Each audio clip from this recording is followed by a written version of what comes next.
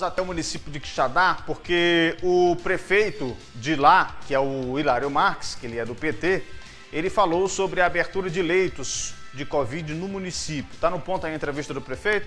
Olha, o, o Hilário disse que em, em transmissão no Facebook da prefeitura ontem que uh, deve acontecer a chegada de respiradores que vieram naquele avião que des, des, desembarcou lá em Fortaleza. Parece que cinco desses respiradores, dos 200 que vieram para o estado, vão vir para o município de Quixadá. E aí vai ajudar a ampliar o número de leitos lá na terra dos monólitos e, consequentemente, ajudar essas vítimas do coronavírus. Depois da fala do prefeito, a gente vai mostrar o boletim de, uh, de Quixadá e os números atualizados da terra dos monólitos.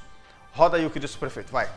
E agora, com a chegada de 200 novos respiradores, novo é, voo que veio da fretado China, o nosso município, a nossa unidade de Covid vai receber cinco respiradores. E, portanto, dos nove leitos que nós tínhamos preparado para receber respiradores, nós estamos, é, vamos contar, logo nos próximos dias, vamos contar com oito leitos na unidade de Covid e permaneceremos com dois respiradores na UPA, né, porque a UPA também está no enfrentamento, a UPA é a, a primeira, é, digamos, urgência e emergência do paciente com Covid, ele vai para a UPA, na UPA diagnosticado, estabilizado, aí sim é transferido para a unidade de Covid, que já entra na regulação para ser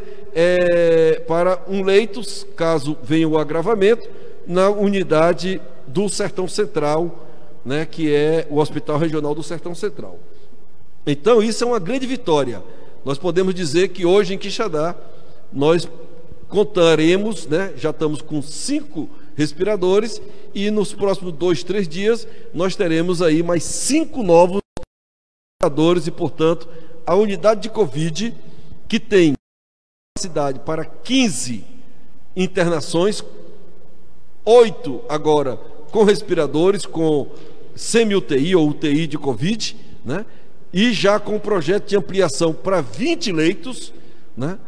Então é algo assim muito importante, é uma unidade complexa, né? Eu vejo que, aliás, eu vejo com tristeza, viu, Juliana, que o médico por política, né, quer desprezar, menosprezar a nossa unidade de Covid, dizendo que lá é uma é, é apenas, inclusive sem conhecimento.